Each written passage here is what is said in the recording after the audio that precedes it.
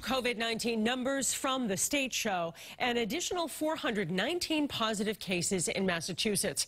More than 27,000 tests were performed. And there were also 15 new deaths reported for a total of 9,051. So the state's seven-day weighted positivity rate is low at 0.8%. And while there are 25 additional COVID-19 patients in Massachusetts hospitals, uh, two fewer are in the ICU.